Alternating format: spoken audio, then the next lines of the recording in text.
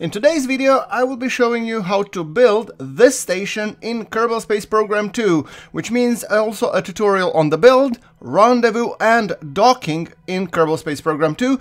This video is quite long, it's 37 minutes, but I'm gonna be placing uh, shortcuts or actually chapters in the description below if you want to jump to a particular style. So, first we will start with the station core, and that's this main pillar vertical that it contains of the crew pod, it contains of a couple of the batteries, as well as the reaction wheels. And now I'm just gonna go purely aesthetical to continue with the build upwards. So, I want to make sure that I find a good place how to expand this. So let's take this guy on top. Oh, too big. This one. Oh, yeah, that could work well. Uh, this actually is too long. Maybe I take a smaller one. Okay, like this. All right, so there would be the place where I would typically typically put communications. So I put two dishes and uh, the solar panels, and I think I'm gonna go with the biggest one that I could muster, just because, well, yeah, you need them. Okay, good. See, that's easy. I'm gonna place them a little lower so they don't clip into the uh, antennas. All right, uh, let's see if we can place additional set of lights. There we go, some reflectors, just to keep the ball rolling and station well lit. And then, uh, by the way, this is, this build is a little bit accelerated. I decided to go with two or three even times acceleration so that you can still follow, but the thing is that it doesn't take too long. Okay, that's too big. Uh, large? Okay, that's possible. So now what you want to do is... I was thinking to try all of those, but in the end I think I have decided to go with a regular large. So I was just looking for some bodies, some tubes and whatnot. If this would make any sense. I was experimenting with the tubes. And then I tried to put the tubes and actually I didn't like how that looked. It looked hideous. So I reverted back to going with the quad coupler. Where was it? Okie doke, somewhere around there. The large one. Good. Then what I wanted to place was the docking ports, and then they can be found under the couplers, and those are actually large. So in Kerbal Space Program 2 we were used to have these 2.5 meters, but those are now medium, as mentioned by MD. These are three and a half, uh, 3.5 meter decouplers, which we didn't have in the previous one, in the previous game. So yeah, I think it looks cool when you actually assemble it all together. I guess the bare strutted was, uh, I didn't like it that much, but see, now that we build these, and then we can actually build, now I need to have some tanks. Uh, and I'm looking for the Methalox tank, good, and then I'm looking for an engine that will actually get the station orbital.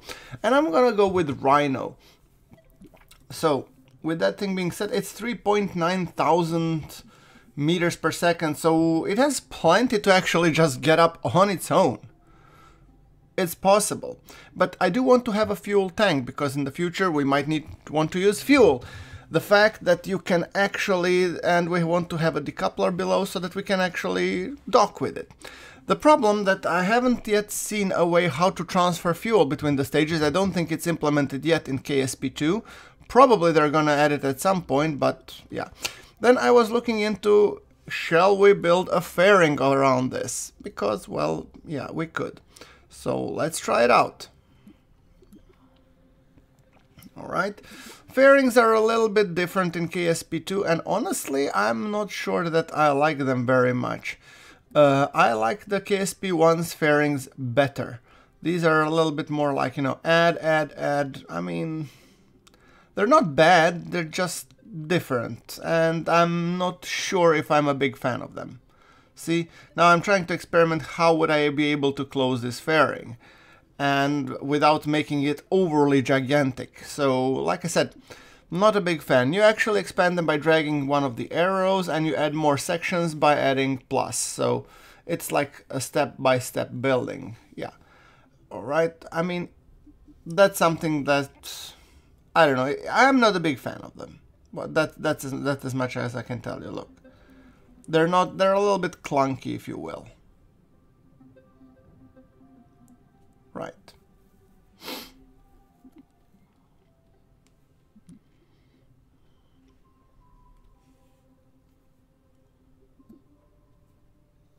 So, after some finicking, I have decided to go with this setup. Yeah, it's not perfect, but I guess it will work. Alright.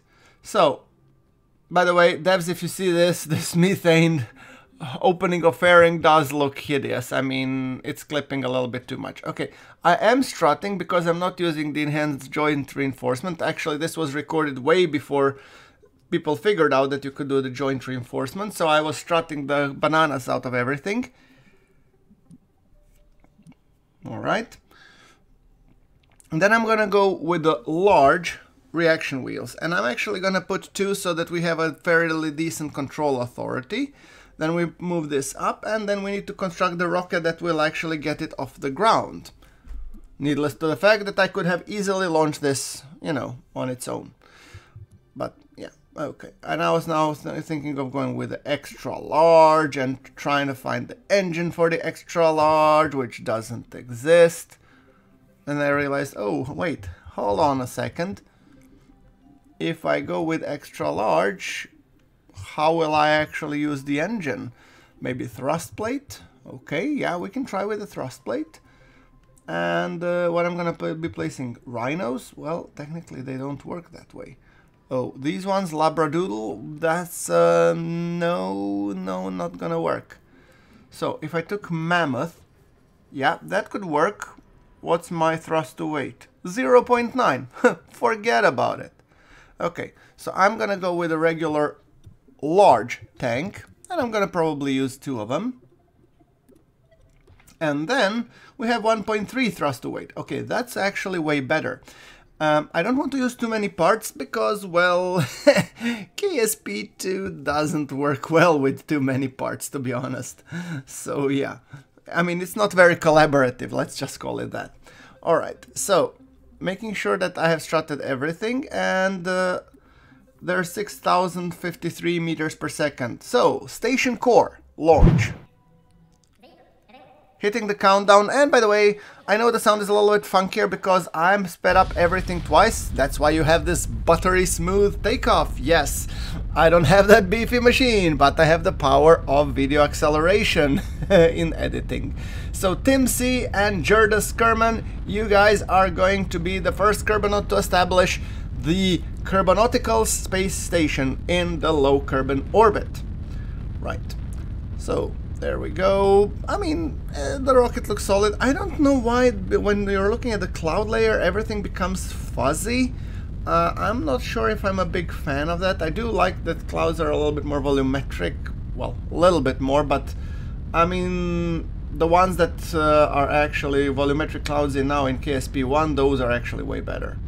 So yeah, but it's it's a subject for improvement. So I mean, the KSP2 has much bigger issues that it needs to fix rather than the volumetric clouds at the moment. So, right, let's drag on these and also make sure that we have correctly placed stage. There we go. Game on paused. There we go, ditching the fairing aligning the vector prograde. And there we go, now we can just continue the burn and everything will be dandy.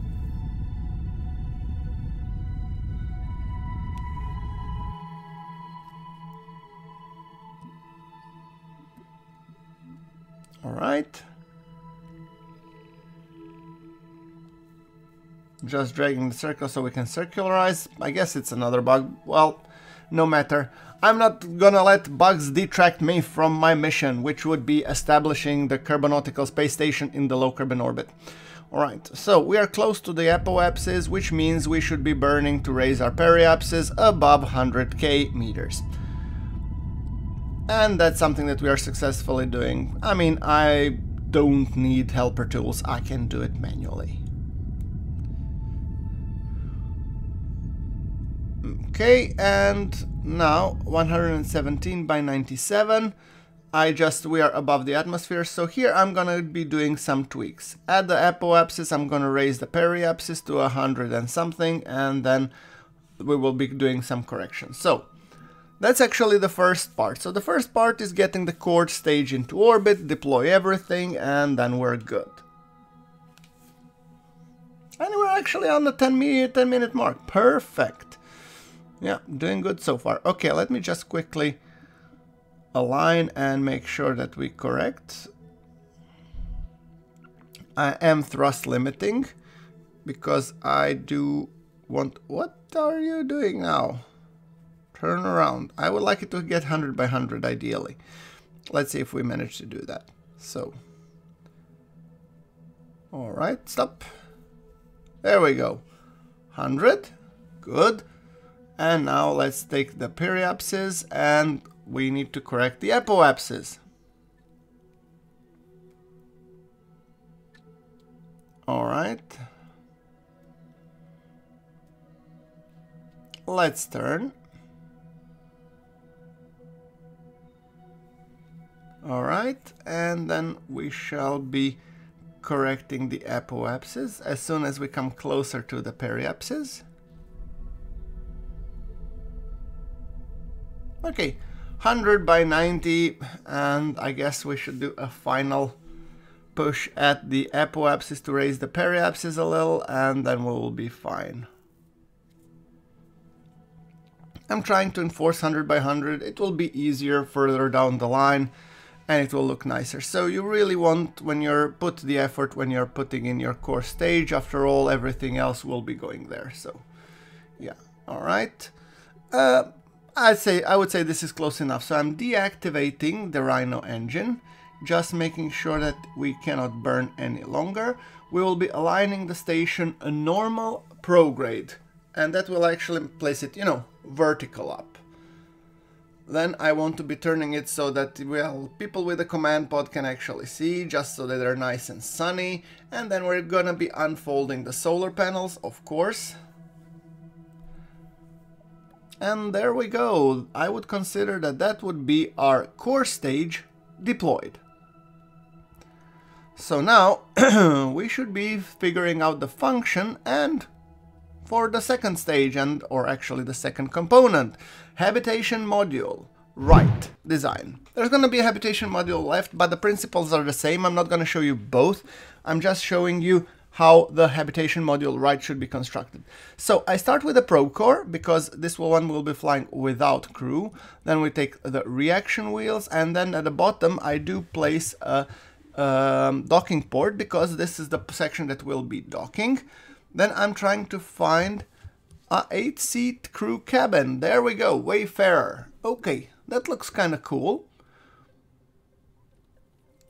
Then I'm gonna be taking the rest, so there we go. I need to be placing an antenna because this actually needs to be able to fly so on its own. And I'm guessing, I don't know how much uh, communication network is implemented in KSP2, but if you want to fly a probe core, I think you should better have the connectivity, right? Well, that was at least in CommNet in KSP1, so I don't want to test it yet. Well, at least not while I'm building this. So I'm putting the monoprop tank. Actually, I'm was thinking if I should be placing it here but I think it's actually better I place it on top so we have a little bit of, you know, balance act. There we go. Then I need the top part of the station, so I'm looking for an adapter. That's also dubs as a fuel tank. Now I'm looking for a, yeah, that one, because that will be actually docking ports for the medium ones, which are 2.5 meters. So you want to have a various, uh, if you remember in the core stage we have for the 3.75 and uh, the small ones 1.2, but not for the 3 for the 2.5. So this one would actually take that role as well. Uh, I'm just trying to see if I could maybe do it, you know, rectangular, just to make it on the fun side, but honestly I hated this, this design. It doesn't really look cool, I don't know. It doesn't gel with me very nicely. Oh, we can give it a try. Alright, so antennas, I actually might place them here-ish. Yeah, I don't know why, that design is just not working for me. Let me see if I take this round one and then like this. Maybe it's better. Well, in theory it could work, but it's just hideous.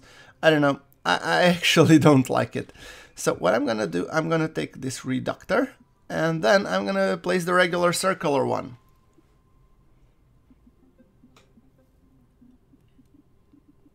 Okay, well, that now actually does make sense to me. So, let's place the docking ports. Remember, these are the 2.5 meter docking ports, and I'm trying to do the symmetry, but it didn't really want to collaborate. So I'm, rather than that, I'm just gonna do one by one. So, okay. Well, that looks actually marginally better. And I'm gonna put a small docking port on top. Usually this is what I call my SSTO dock, assuming that I ever manage to build an SSTO that can get there and make a rendezvous with it. yeah, now I'm just daydreaming. Okay, anyway. We've got this. I mean, I like building SSTOs, but that's kind of more of a Matt, Matt Lowne's shtick.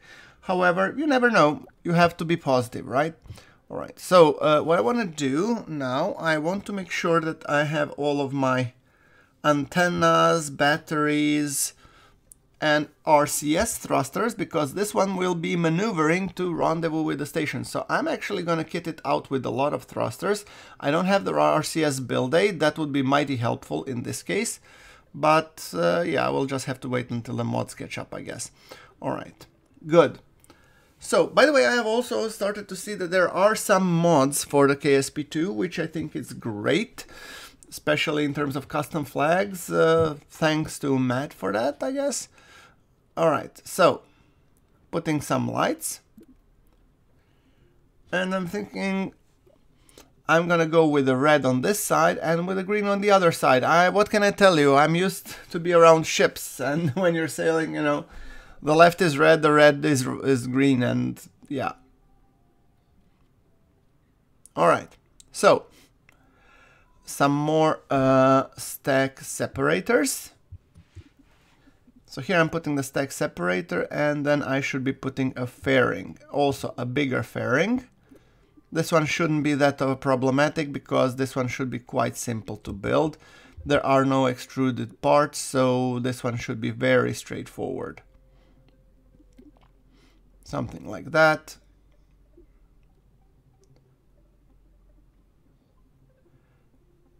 Yeah.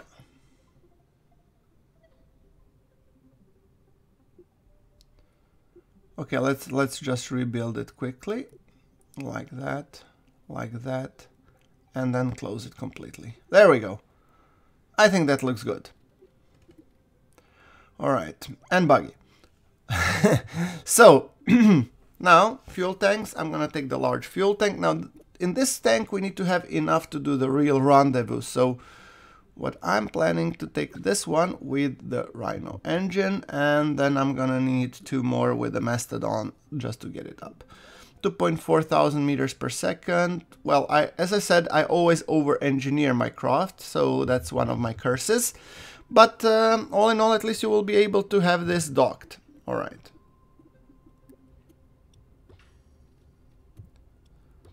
Alright, so we have two, one tank below. I think I want to have another tank below. Alright, and then we're gonna build the Mastodon engine, and that one should have a decent 1.2 thrust weight. Interesting. So the bigger station that was above was actually less weight. Yeah, well, this one has a big um, crew quarters. All true. So 4.3 thousand meters per second should be enough to get us into orbit. Now, let's do the engine trusses. We can put some side boosters just to give us that little extra oomph, just in case we actually spend a lot of energy on the rendezvous and stuff. So, yeah. Like I said, this, this is a little bit longer episode, but I wanted you guys to see my, you know, design process, how I'm doing this, given that KSP2 is so new. Probably in the future episodes, I will accelerate this even more heavily and uh, just skip the boring part, so to say. So, yeah. this one, I think it's uh, at least slow enough that you can build along beside it. So, yeah. All right. So, as I said, strutted everything and then we should be considering the launch. I should actually put those in the same stage because it's 1.002. I always check my thrust to weight at takeoff because it's really important. You don't want to be below 1.3-ish. Um, ideally you want at 1.6. So putting on the launch clamps. There we go. And the launch clamps should fire the same time the engines fire, so we don't need them separately. The vehicle is not gonna be fly safe because it doesn't look like a safe to me, so that's fine. Every, every vehicle, it's kind of funny if you think about it. The vehicles are called fly safe and the, the wobbliness of the everything, the kraken and everything, I don't know. So Habitat module right, launch. First of all, I'm actually getting the station in place so that it will be catching up to us, and then we're getting ready for the launch. Three, two, one, hitting the countdown. Water deluge, igniters, and hit it. I took a screenshot and it backfired. Yeah, alright trying to find a nice decent view and orient myself so I know which way I was supposed to be watching. Alright, starting the gravity turn. We have more than plenty delta V in this stage so I'm not overly concerned. Hopefully everything should be fine and no problems should arise. Right, okay, so there we go. Perfect.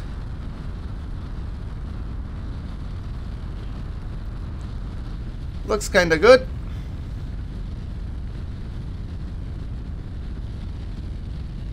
There we go. Pitching for that 100 and uh, something kilometer apoapsis. I'm actually thinking I might even go higher and let the station catch up to me. But that will be fine.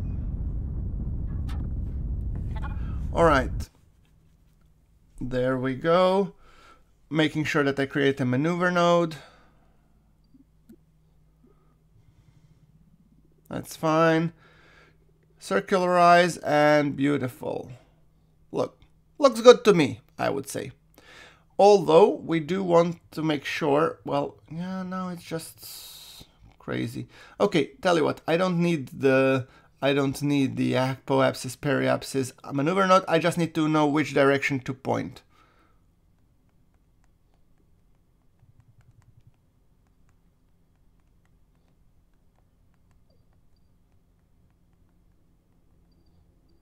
All right, there we go, pointing the maneuver prograde and getting ready for the burn.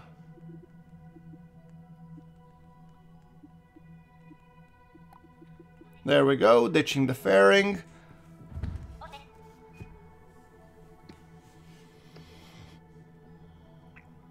All right.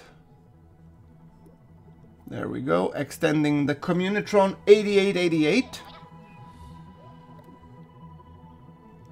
And the burn will be in 15 seconds. 10, 5, 4, 3, 2, 1, and ignite the damn thing. Alright. I really do like the music. The music is awesome uh, in KSP2. It's one of those things that really did right. I mean, honestly, I love the graphics. So if, if you ask me what did they, they do right from the start, in the KSP on the EA launch, I would tell you three things. One would be the graphics. I really enjoyed them, regardless of the performance. Second thing would be music. The soundtrack is downright amazing and I love the sounds. And the third one would be the intro that they posted on Steam. I mean, that one is freaking amazing. I mean, uh, it's uh, at this point it's not doing the game many favors because when people actually download it they're super excited and then they look and it's a little bit disappointed which is fair enough because the game is in early access and it's actually just launched i know it's not excuse but I am actually more happy that it launched rather than uh, than, than it didn't. So the rendezvous. Uh, yeah, so I mean, if the game launched, that means that also we as a community have a chance to actually help the developers in terms of finding bugs and everything. And I know some of you might say, well, that's not our problem, the devs should have done it. You're right, but this is the way where we could get the bugs fixed quicker. I mean, we are the community of who, how many thousands of play, how many thousands players. We will be for sure encountering bugs much more frequent and much more uh, actively than the devs will because they also need to develop. And if we report these bugs in the correct way, uh, which is basically how it, does it manifest, what, what's happening, how to correct it, or what, what will be our take on the thing, that actually gives the devs idea where to look and basically gives them a punch list rather than they're having to explore and find things on their own. So it in that way we're kind of helping them. Alright, so like I said, rendezvous. Now what I'm doing, I'm just adjusting my maneuver node until I get two to align. So this is how you do a rendezvous. You have a point I1 and I2. Those are basically intersect points. So what you want to do is that I1 intersects with I1 with a marker on top because I1 is your position at the time of the rendezvous, while the I1 with the target basically means I1 at the target location. So like I said, the, the point is that we just now try to get a good alignment and I'm trying to figure out how will I rendezvous with the station. So first things, we have plenty of delta V, we have 1640 and that's more than it, than we need for, for a successful rendezvous. Hell, it's enough to get to Moon and get the rendezvous there. However, okay, so now you see, and typically I'm burning at either at apoapsis or at periapsis, and now I'm just making sure that since we are a little bit ahead of the station, we'll need to catch up with the station. I will, for the time being, do like that we need to catch up with the station. So that means I will be doing a maneuver node burns where we will be going into the lower orbit than the station. Or actually, no, we will let the station catch up to us. But it will take a multiple circles. So as you can see, then the intercept 1 and 2 are changing. I'm gonna now cut to the part where we, we actually get uh, an alignment that's close enough so that I can tweak it with maneuver node.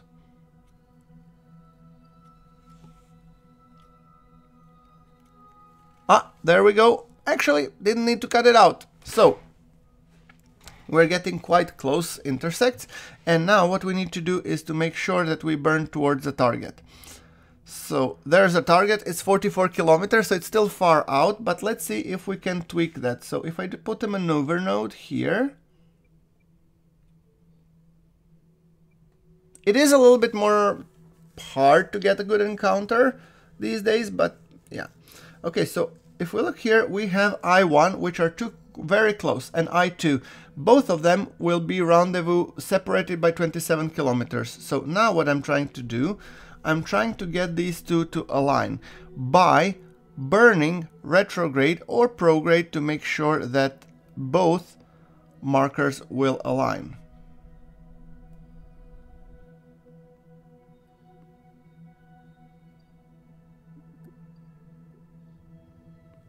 So if we burn that way, they will align eventually. Come on, come on, come on. I'm now looking at the I2. See, those are separated, getting closer and closer. Those are 19 kilometers separated. So if I decelerate a bit more, now they're actually 460 meters, and that's good enough. So that's the idea. You want to get these two to align together. And that will be a burn of 83 meters per second burning probably retrograde. I'm not yet sure until I actually see it, because it doesn't tell me. It does look like orbit retrograde. Yeah, alright. There we go. Fine. And in 10 seconds I will be doing the burn. So also I will not be doing the burn the entire time. So as you can see right now, going, going, going, going. Now I stop. And now I delete the maneuver node because I want to be able to manually tweak those values. So if I continue the burn, ah, see, here I got the I1 and I2, and now just I burn until this distance from target is reduced. And I think I overshot it by a little bit, so I actually enable the RCS and I'm pressing N to thrust backwards until I get a good encounter. That's another trick that you guys can do. So, okay, now I wanted to time warp to this point so that we meet with the station. There we go. Awesome. And now we let's reduce. So now we are going 15 meters per second relative to the target. And I have no clue. Ah, there's target. Okay, 1.6 kilometers. So I want to make sure that we are burning towards the target and ensuring the encounter because currently we are going away from it. So now I was think now you have two options. At this point you should either burn towards your target and put your prograde markers to align or make sure that you're decelerating to the target uh, relative to the target in which case yours and target's retrograde markers should align on the nav ball. So now given the fact that I'm going 12 meters per second in my opinion that's a little bit too slow I am burning prograde to ensure and in such a way that I'm trying to align the white prograde which is the target prograde marker and the green prograde marker so that they're together. As you can tell, I'm actually doing very piss poor job of it. But okay, we have going 20 meters per second and we are making sure that we should be, uh, uh, you see, we are doing the change here. So now what I want to do, I want to decelerate relative to the target. And now we are going into the docking sequence. So, okay, I just want to make sure that I kill, oh, I pressed Oof. I pressed Z instead of X. Yeah, that's usually a bad idea. So we are going away. Okay, turn around and basically burn again prograde towards the target to make sure that we rendezvous with it. It's a little bit of frustrating because my reaction wheels are not working 100% because this rocket is heavy as hell. So actually uh, the having a rocket tank is not doing me any favors. I should probably ditch it. So as you can tell, I'm trying to align the markers and just making sure that we can... I'm All the time I'm maintaining my visual... Um, yeah, so as I said, re reaction wheels are very much nerfed in this instance. So what you want to do is you want to go and burn a little bit more prograde so that you get the, your, you know, alignment markers to align. And my rocket is spinning, but I'm gonna use that to hopefully get into the correct alignment. So yeah, oh, we are drifting further away. Okay, so tell you what I'm gonna do. I'm actually gonna engage my main engine to burn prograde to the target. And then hopefully I will be able to decelerate in time. So what I'm trying to get is once again those two aligned. And as you can tell, we are doing a good job of it. So now I'm going to be using RCS thrusters to decelerate as we come in. And I'm using I, J, K, and L to make sure that I'm maintaining the green mark on the white mark. Okay, now I have decoupled because actually it's much easier for me to control the station part and rotate and do all the docking necessary thingies. So, I'm trying to once again burn towards the target. I know which way I'm aligned. Good. It was actually hard to set up this docking, but I figured might as well, you know, do that. So, I'm gonna decelerate now it's just a matter of figuring out where to burn. So I'm pointing towards the target. So if I press H, I will be burning towards it. Good. And I'm decreasing my velocity. And now look, I'm getting those markers easier to align. Much easier. And my velocity relative is 1.8 meters per second. Good. So now you want, at this distance of 150, you want your target velocity not to be much higher than 2 and I, at this point I was actually hoping to be able to switch to the other craft and I was trying to figure out if I could from here directly say that I could control it, but apparently not.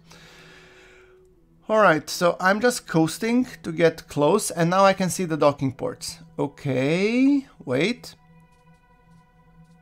Let's kill our relative velocity. So now what I should do, I should turn off the basically the RCS Okay, target 0.0.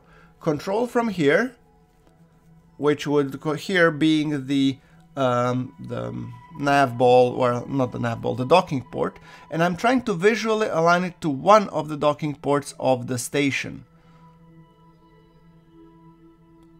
So just making sure to figure out where is north, how to align it, okay. I don't want to, it to be crooked or anything, so that's, that's another thing to consider.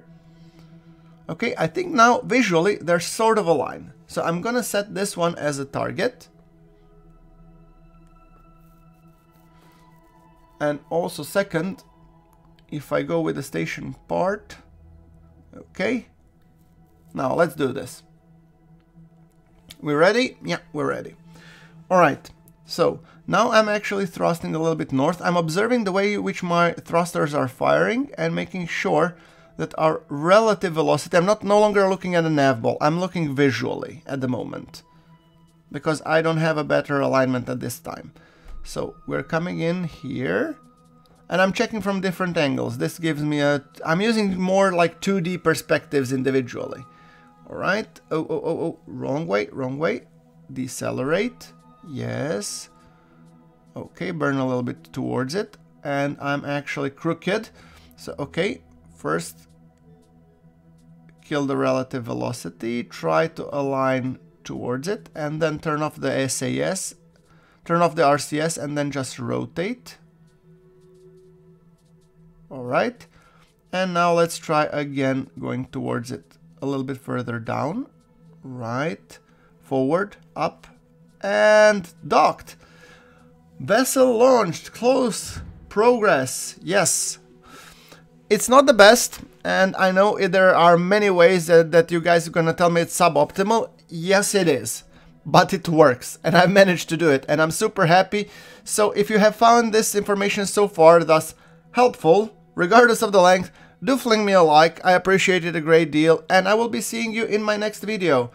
Thank you very much for watching, and with this beautiful view, GrunfWorks is signing off.